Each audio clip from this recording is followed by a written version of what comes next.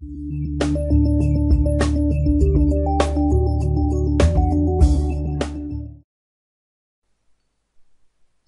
Cię, mówi Paweł Protaś. W tym filmie pokażę Ci, jak dodać oraz jak modyfikować wpis na blogu opartym na WordPressie. Na początku Twój blog wygląda mniej więcej w ten sposób i widać na stronie głównej pierwszy przykładowy wpis. Chcemy teraz go zmienić, dodać nowy lub zmodyfikować. Wchodzimy w panel administratora i na górze mamy w menu wpisy. Tutaj mamy listę wszystkich wpisów. Aktualnie jest ten pierwszy, testowy, od tule widać w świecie. Klikamy go.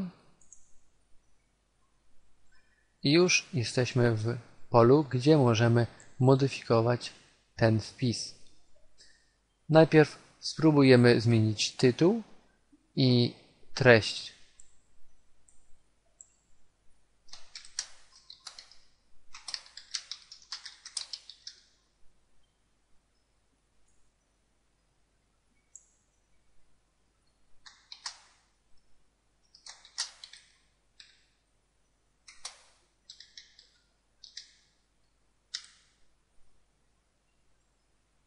Gdy dokonamy zmian, klikamy Aktualizacja.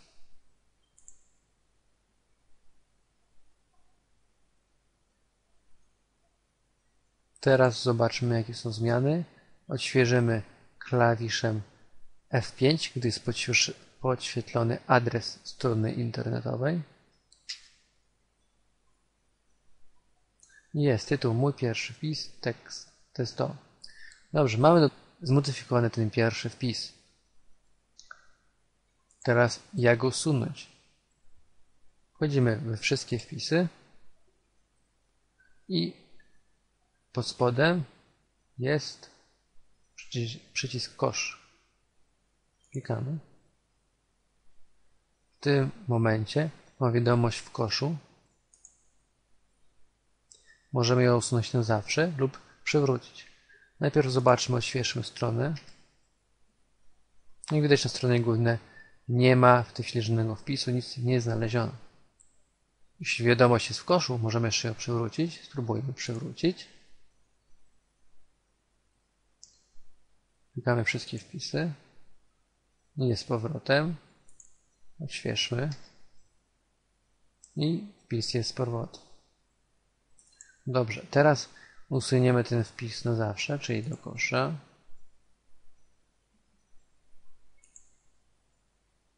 I usuń na zawsze. W tym momencie nie mamy już żadnych wpisów i chcemy dodać nowy wpis. Klikamy dodaj nowy i wpisujemy temat. Teraz dla pokazania formatowania edycji wpisu skopiuję fragment tekstu z mojego artykułu jednego na blogu. Piszę skrócony temat.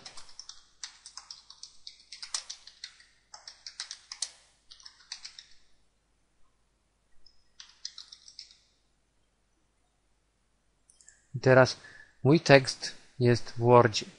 Jeśli skopiuję tekst w Wordzie do tutaj edytora w WordPressie, Niestety, ale skupiuje się ukryte nie, znaczki, niepotrzebne elementy, które popsują nam e, wygląd wpisu. Dlatego z tego względu jest właśnie tutaj możliwość wklejania z Worda. Jeśli nie widzisz tej drugiej linii, to znaczy, że nie kliknęłeś tutaj pokaż ukryj dodatkowe przyciski. Wtedy nie widać właśnie tego drugiego paska narzędzi. Jak klikniemy, to go widać. I teraz, jeśli ja wkleję ten tekst bezpośrednio z Worda, mogą się właśnie dziać dziwne rzeczy, że będą się pojawiać jakieś dziwne teksty, których tak naprawdę nie było w Wordzie, a nagle się pojawiły na naszym blogu. Jeśli chcemy tego uniknąć, to klikamy wklej z Worda i tutaj właśnie skrótem klawiaturowym Ctrl V wcześniejszym skopiowaniu tekstu skrótem Ctrl-C. Wklejamy ten tekst i wstaw. No jest. W tym momencie mamy skopiowany tekst już z formatowaniem z Worda. Możemy też również tekst wkleić jako czysty. Zobaczmy.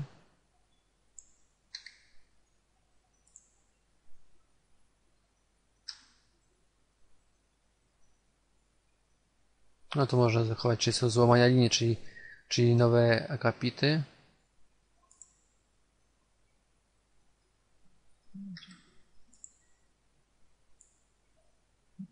W ten sposób wygląda bez formatowania. Sprawdźmy, jak to będzie wyglądało. Zanim klikamy opublikuj, możemy też robić podej podejrzeć zmiany.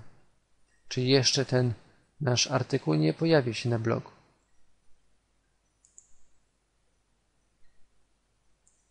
O, w tym momencie by wyglądał w ten sposób.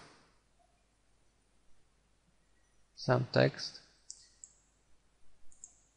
Na blogu, jak po odświeżeniu klawiszem F5, wciąż nie ma żadnej strony, ponieważ to jest tylko podgląd tego, co jeszcze nie opublikowaliśmy. Jeszcze nie ma tego na blogu.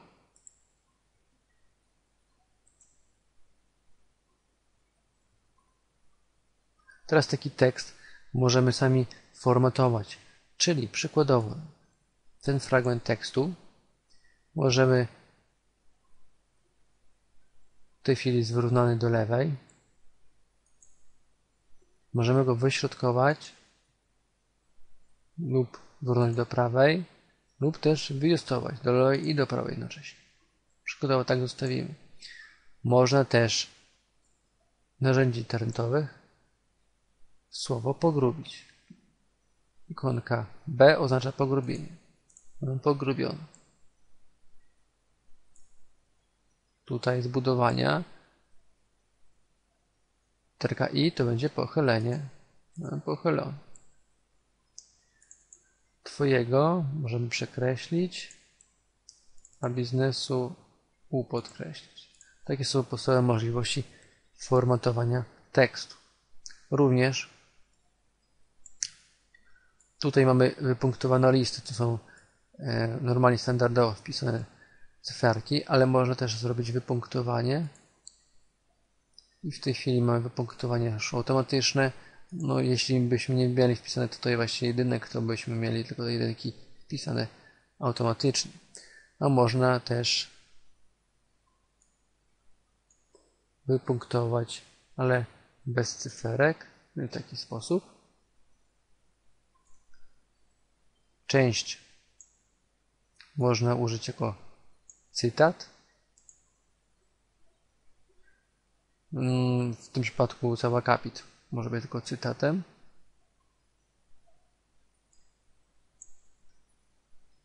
Dalej mamy wstawianie usuwanie odnośników.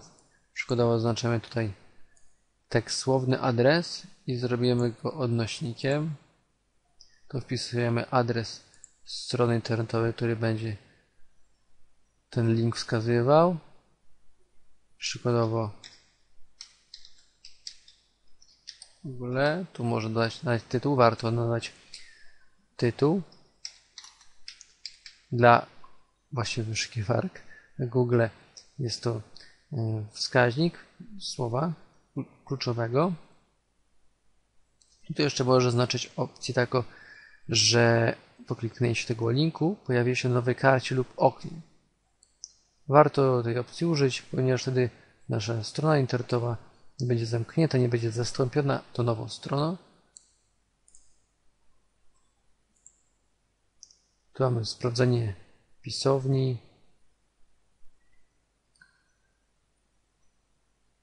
Tu jest jeszcze taki element, który zaraz jeszcze pokażę, do czego on służy. Jeśli chcemy skupić się na pisaniu samego tekstu, a nie formatowaniu, wygodnym sposobem jest tryb pełnoekranowy. Damy tekst i skupiamy się już na samym pisaniu. Gdy skończymy pisać, chcemy już tekst formatować, to najlepiej kliknąć powrócić do normalnego widoku.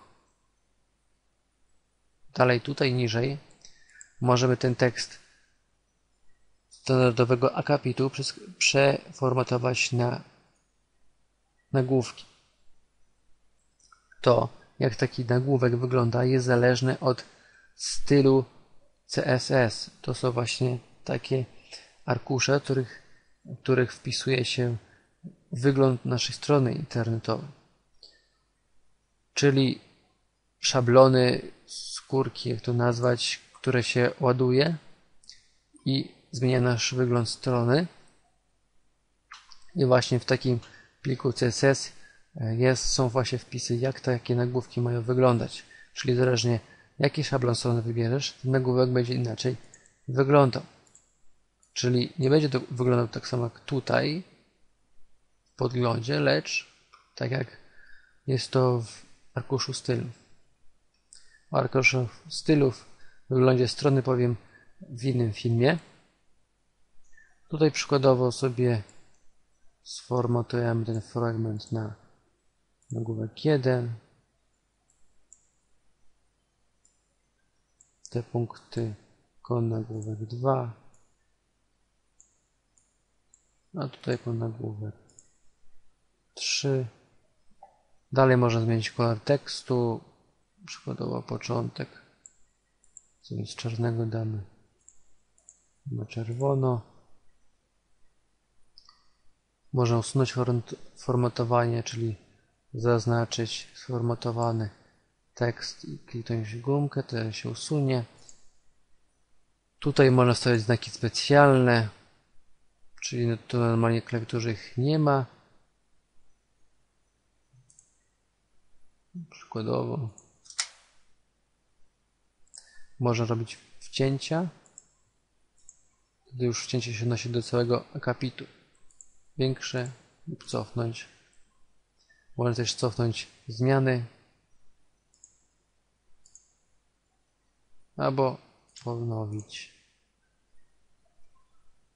Dobrze. No teraz taki już artykuł możemy opublikować.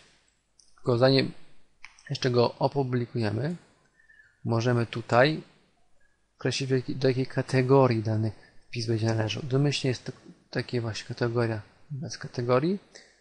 A tutaj możemy kliknąć dodaj nowa kategorię i wpisać nową nazwę. Na przykład nowa kategoria.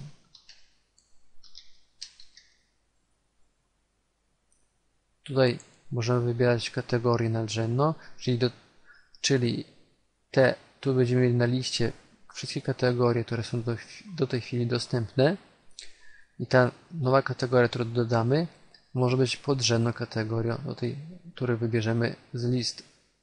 No, w tym przypadku wybierzemy główną, czyli dodaj nową kategorię. I teraz właśnie tutaj możemy zaznaczać dany wpis, do jakiej kategorii należy. Może do kilku, może do jednej, a można też do żadnej. Zostawimy tylko to nowo kategorię. Tutaj niżej jeszcze można dopisać tagi, oddzielając je przecinkami. To wszystko tutaj kategoria to jest ogólne, można powiedzieć ogólne określenie tematyki danego wpisu, a tagi to jest bardziej e, szczegółowe wskazanie, co w danym wpisie w treści się znajduje.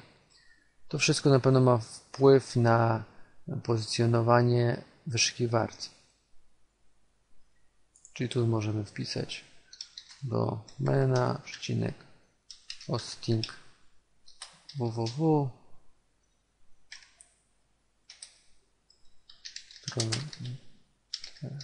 netowa i już dodamy tagi, klikamy dodaj.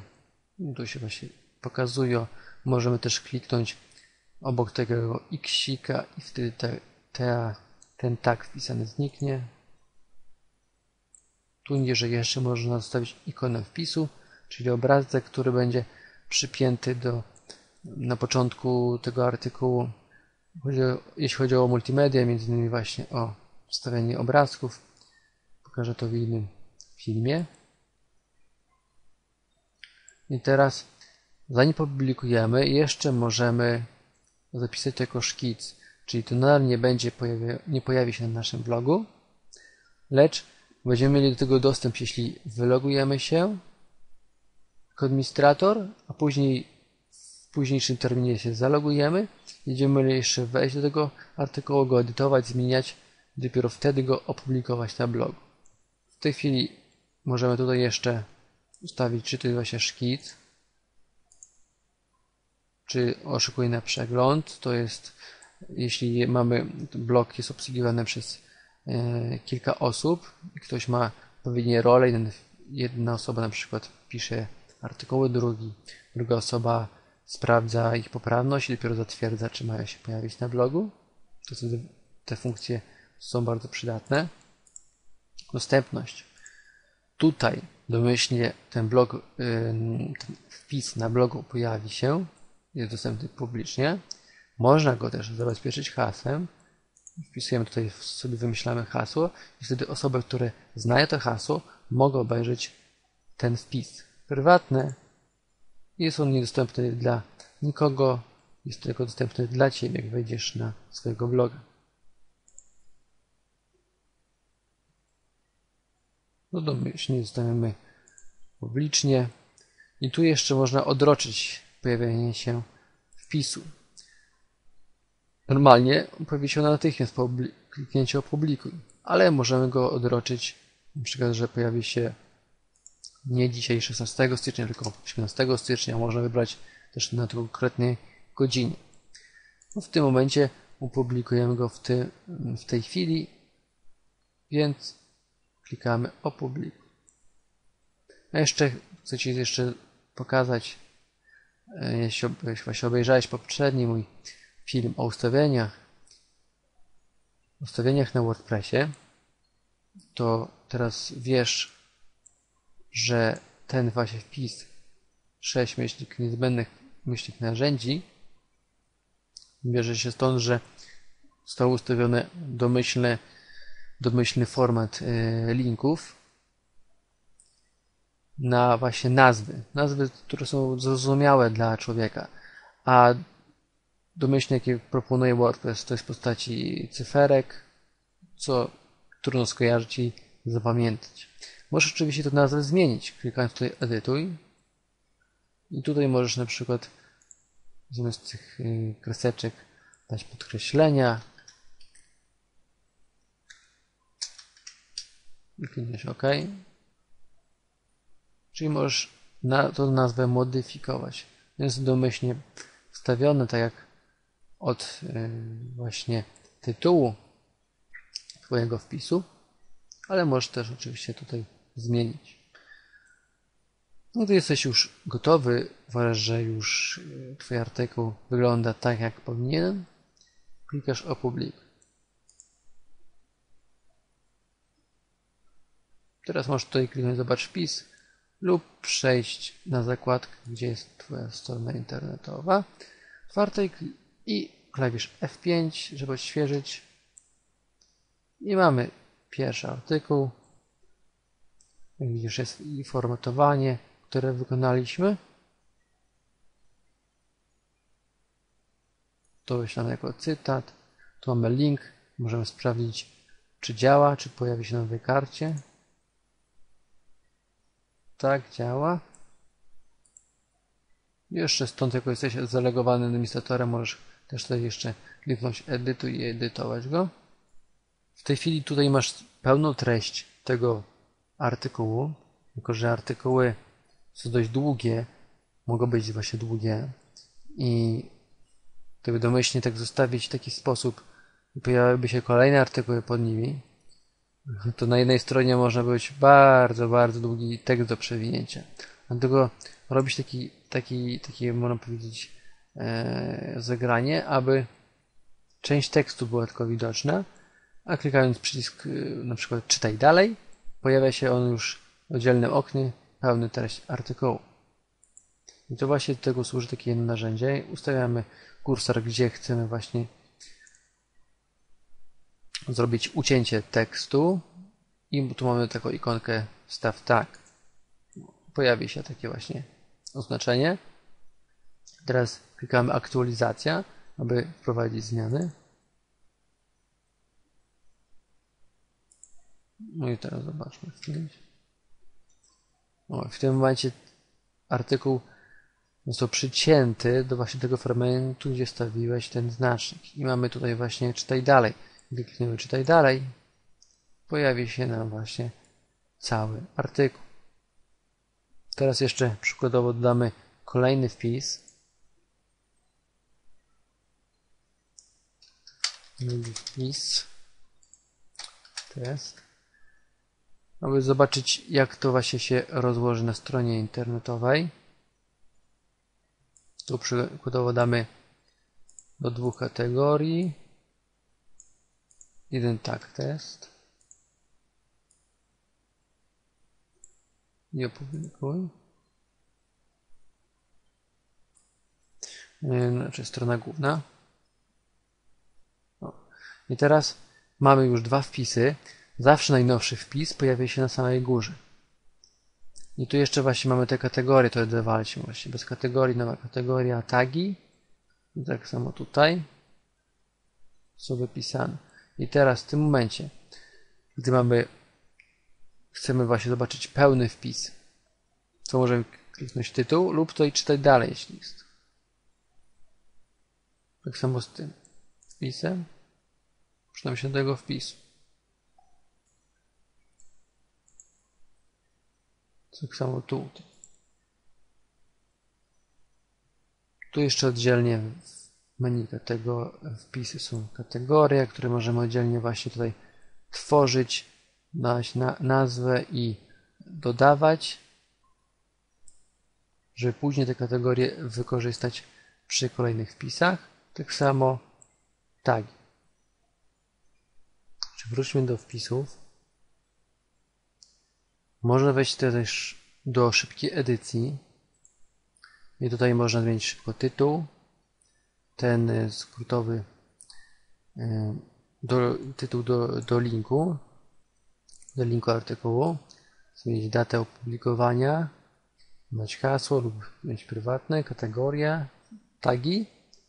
I tutaj są takie dwie opcje. Zezwolić na komentarze. Właśnie domyślnie jest na to pozwolenie jak w ustawieniach E, ogólny właśnie bloga, który pokazywałem, ale można właśnie tutaj oznaczyć i właśnie konkretnie przy tym artykule nie pozwolić na komentarze. Jeśli to oznaczymy, nie ma możliwości dopisania komentarzy.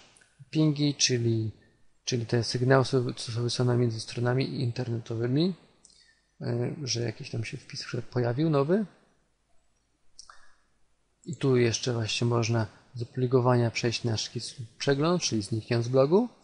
I tu jest taka jeszcze ciekawa opcja, która też jest przy edycji szczegółowej wpisu. Można nadać przyklejenie, że przykleić ten wpis do strony głównej. To oznacza, że ten artykuł będzie zawsze się pojawiał na stronie głównej i będzie się pojawił on na samej górze. Czyli nawet jeśli on był opublikowany wcześniej, starszy, starszym artykułem, to jako, że jest przyklejony, ma wyższą rangę i pojawi się on wyżej. To sprawdzimy teraz, zaznaczymy i zaktualizujemy.